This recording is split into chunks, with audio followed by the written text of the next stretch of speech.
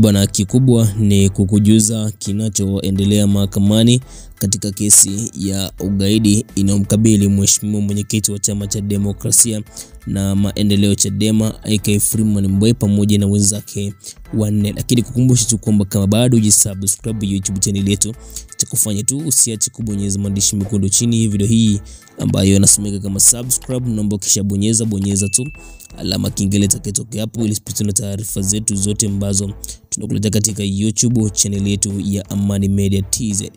Bwana, siku ya leo katibu mkuu wa chama cha demokrasia na maendeleo Chadema E, John Mnyika baada tu kutoka mahakamani ameweza kuongea na waandishi wa habari nje ya mahakama na kuweza kuambia kwamba majaji wa mchongo pamoja na mawakili wa mchongo awataka katika kesi ya mheshimiwa mwenyekiti wa chama cha demokrasia na maendeleo Chadema. Amesema kwamba anawasubiria Januari 2022 ambapo ndo ataweza kusema kwamba wamtaki majaji ambao wanasimamia kati kesi ya mheshimiwa mwenyekiti wa chama cha demokrasia na maendeleo Chadema, ambapo wamesema kwamba hadi e, mashahidi wanakuja kutoa ushahidi katika kesi ya mheshimiwa mwenyekiti wa chama cha demokrasia na maendeleo Chadema ni mashahidi wa mchongo, hawataki katika e, kesi hiyo. Ndipo ambapo wamesema kwamba ataweza kumkataa e, jaji na mawakili ambao wanasimamia katika kesi hiyo ya mheshimiwa mwenyekiti wa chama cha demokrasia na maendeleo Chadema.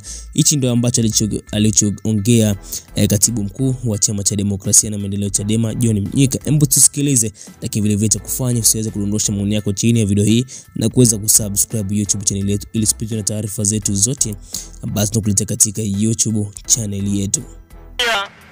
Uhuru kidogo na kinga walizonazo majaji kwenye katiba kutumia mamlaka yake kutenda haki.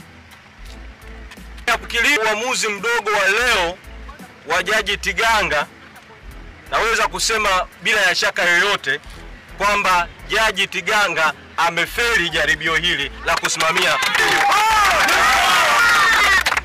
na mahakama ya Tanzania imeshindwa kuonyesha kwa vitendo japo kuheshimu uhuru kidogo ilionao, na hii iwe sababu ya sisi kuongeza nguvu zaidi ya kudai katiba mpya katika nchi yetu.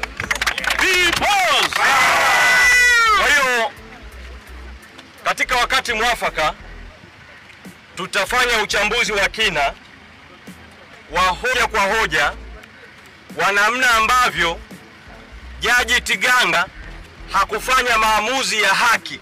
Katika kushughulikia mapingamizi saba utetezi yaweka katika pima ushahidi uliotolewa na utetezi.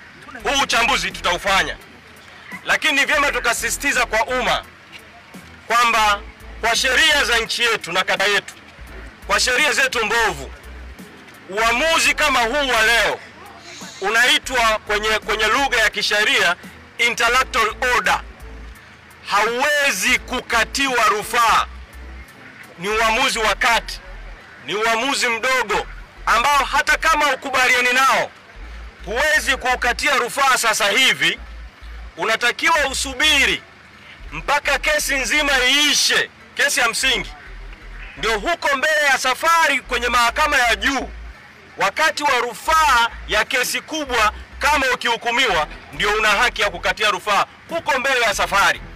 Kwa hiyo naomba wananchi wajue kwamba pamoja na uchambuzi wa hoja tutakaoufanya, uamuzi huu hatafungwa mikono kisheria kwa sasa kuukatia rufaa, lakini huko mbele ya safari tutaukatia rufaa ili usibaki kwenye rekodi za mfumo wetu wa haki hapa nchini, usije ukawaathiri watu wengine huko mbele ya safari.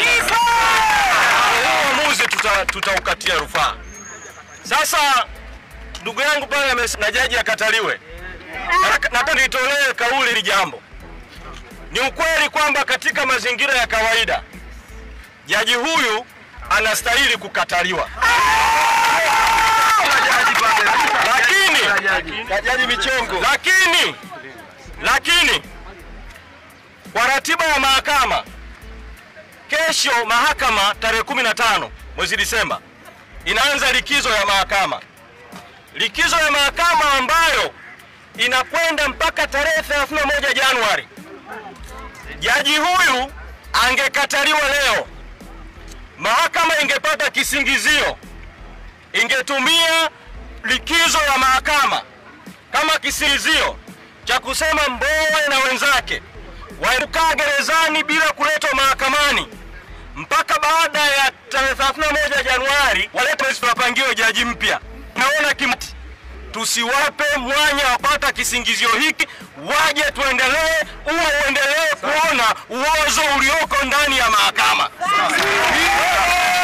Tutaendelea pamoja na kuwa hatumwamini, hatumkubali na tunajua amefanya maamuzi yasiyokuwa na haki, lakini tutaendelea na tunaomba wananchi mwendelee kuja kwa wingi kufuatilia kesi hii ili kuendelea kuwaona mashahidi wa michongo, mawakili wa michongo na majaji wa michongo.